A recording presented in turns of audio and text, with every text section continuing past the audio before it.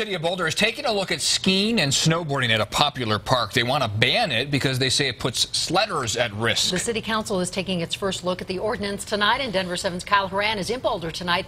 Kyle, the part of Chautauqua Park they're discussing was actually meant to be used by sledders. Yeah, and if it was lighter outside and you could see behind me, you'd see a pretty great hill for sledding back there. But the only problem is skiers and snowboarders have been using it too. And that wouldn't be a problem had there not been some collisions on the hill between skiers and snowboarders and people on sleds. However, a study pre 2011 showed the potential for danger, says city officials. And so, city council members are taking their first look at an ordinance to ban skiing and snowboarding here. A city spokesperson says they would have acted sooner, but heavy 2013 rains changed their plans.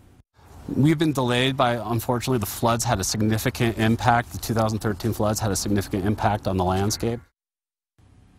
So, if the ordinance is adopted, what happens then? Well, the city doesn't actually plan on ticketing anybody unless they don't want to leave after being asked the first time. Then they could have a $25 fine. Reporting live, Kyle Horan, Denver 7. All right, thanks, Kyle. If you like to drive, there's a new